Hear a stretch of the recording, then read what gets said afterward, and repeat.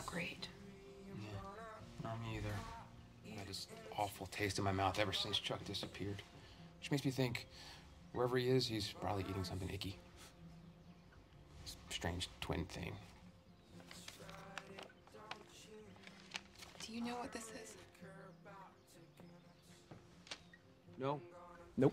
Never, never really saw that before. I really miss him.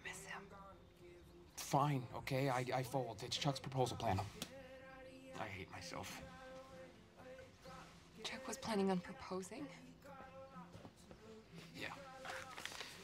See, it's a combination of, of things that are important to both of you, and, and some of it is just from when he was little.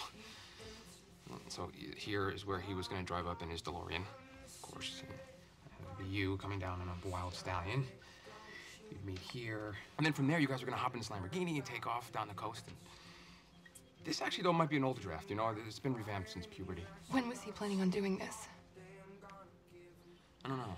You know, I mean, ever since he lost the intersect, the proposal plan got put on hold. Why? Did he think that I wouldn't want to marry him without the intersect? Is that how I made him feel? No. No, Chuck knew that.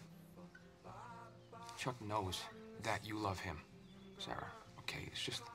You're kind of a big fish, you know? And to a regular guy with no supercomputer in his brain, I gotta think that that's pretty intimidating. That's not the reason why I love Chuck. I do want to spend the rest of my life with Chuck with or without the intersect. That's fantastic. That's great. Yeah, and he knows that, right? Because you told him that.